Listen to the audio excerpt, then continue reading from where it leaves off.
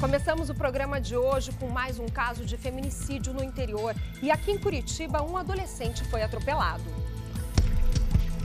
Um adolescente de 15 anos foi atropelado assim que desceu de uma estação tubo no bairro Cristo Rei, em Curitiba. Ele sofreu apenas ferimentos leves. O socorro chegou pouco depois e levou o garoto para o Hospital Evangélico Mackenzie. A polícia apresentou hoje o homem apontado como autor de um assassinato, semana passada na colônia Antônio Prado, em Almirante Tamandaré. De acordo com a investigação, Alessandro Cardoso Costa, mais conhecido como Japa, teria matado Rogério Thiago Costa, de 31 anos, com 10 tiros. O preso já cumpriu pena por outros crimes.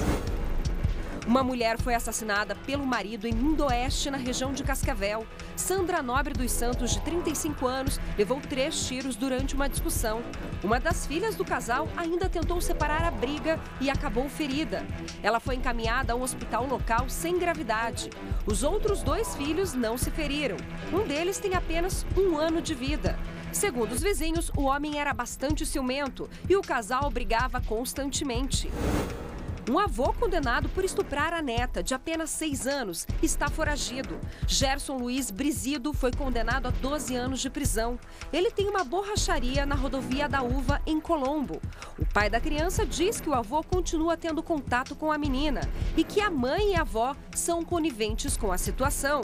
Estou tentando provar na justiça que a mãe continua mantendo contato da filha com o avô.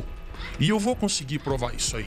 A mãe é conivente com a situação. É um preço caro que eu estou pagando e a criança está pagando o pato. E é a criança que está pagando o pato e a gente na condição de pai.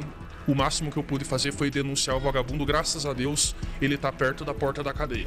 Os avós e a mãe da criança alegam que o pai estaria orientando a filha a mentir sobre os estupros.